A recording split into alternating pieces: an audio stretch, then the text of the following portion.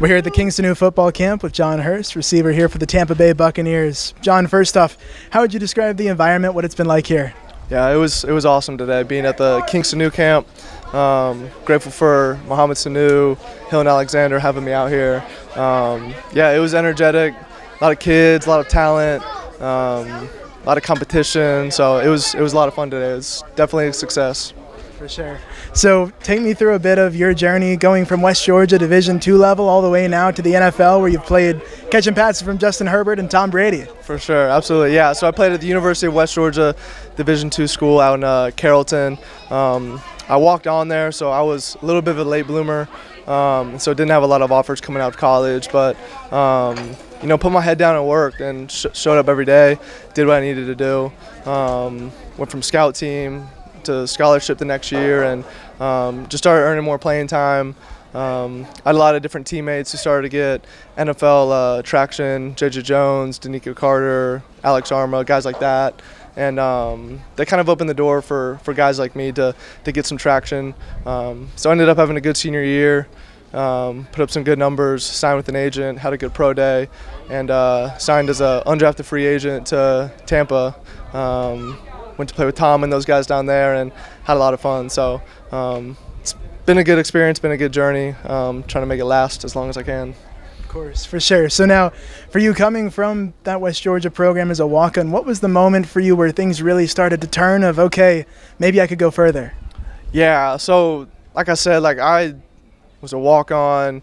Um, got redshirted scout team that uh, that freshman year, and then ended up making the travel squad the next year. And that's when you know, I, I, have confidence in myself. I knew that I could play, but I just had to show that every single day. And um, being able to to make the travel team that next year was big. And then I think it was that next year after that when um, I saw some of my teammates, the guys, uh, the receivers in my room with me. Like I said, J.J. Jones, he went to the Chargers, to Nico Carter, got some opportunities with the Ravens. Um, Shaq Rowland got an opportunity with the Bears. Um, and these were guys I was just playing, practicing with, and so um, you know, they were super talented and, um, you know, I knew that I think I could do it too. And so I think that, you know, sophomore year was kind of the time um, where I was like, you know, I might have a possibility at this. And so um, it was never really, you know, on my mind fully. You know, I was really focused on being at West Georgia, be the best I could be, um, and, you know, letting that speak for itself. And hopefully NFL would kind of be a byproduct of the work that I put in. Got so. you. Okay, so when you break down a bit of your skill set, what are the things that you feel like have made you stand out to go and go along that journey the way you have? Yeah, I think um, I think my speed really came along um, throughout college, and really like utilizing my speed well in my game.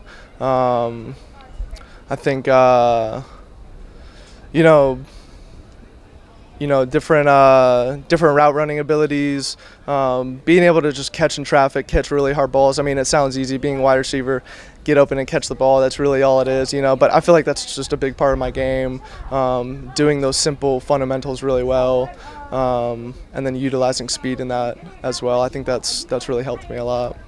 For sure. Okay, so coming from this journey that you've come from, when you speak to and talk to some of the kids, all ages, from real small to high school, what is your message or what are things that you tell them coming from where you have? Yeah, I, I don't think it's anything like super profound. I think it's something that we all know, but I think I try to preach it because I believe that it's true.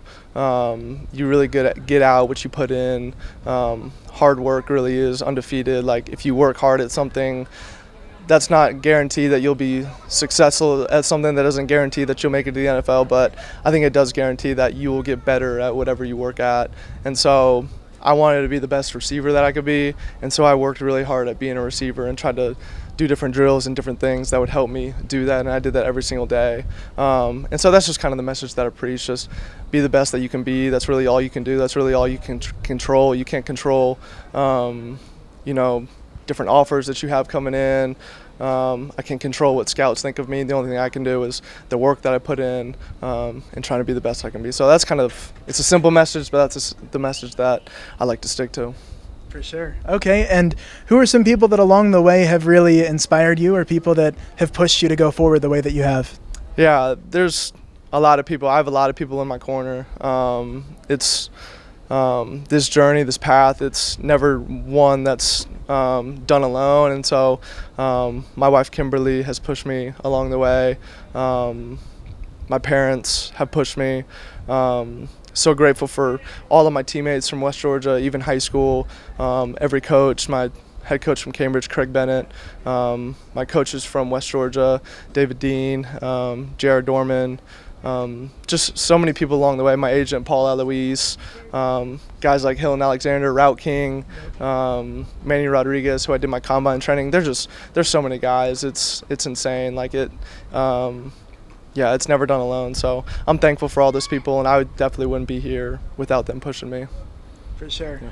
And my final question for you: What is it like catching passes from the goat, Tom Brady? The goat, man. Yeah, I think day one, you know, it was a little surreal. I was trying to get in line where I'd line up with him and you know catch balls from him and um, you know I'm really grateful that I've been able to be around him and, and learn from him and it was super cool. I think day one I was a little starstruck. Um, you know I could probably still be starstruck and uh, sometimes a little bit, but um, yeah I just I it becomes normal. You know he was a teammate, um, coworker, and someone who just pushed me to be the best I could be and the best football player I could be. And so I was super grateful for that. Um, yeah, and something cool. I'm able to tell people, I guess. People think it's cool. So um, yeah, it's definitely been a cool experience. For sure. Well, John, thank you for your time and good luck. For sure. Thank you. Appreciate it.